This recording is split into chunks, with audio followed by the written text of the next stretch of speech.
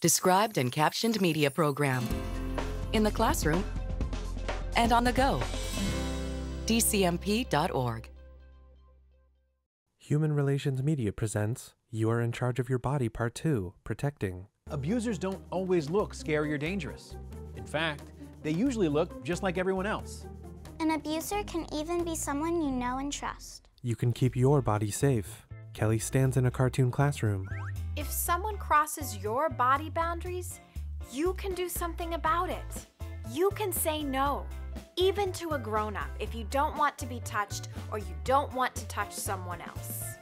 You can also say no if someone makes you uncomfortable, even if they didn't touch you. Remember these words no and go.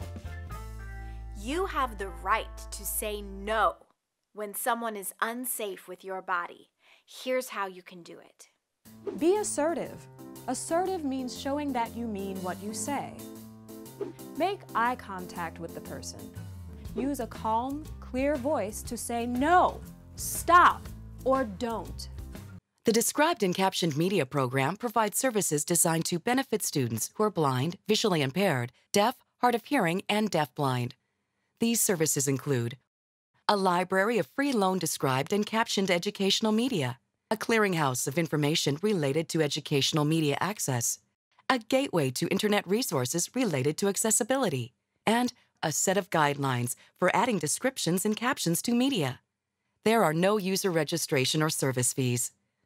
Visit the DCMP at dcmp.org.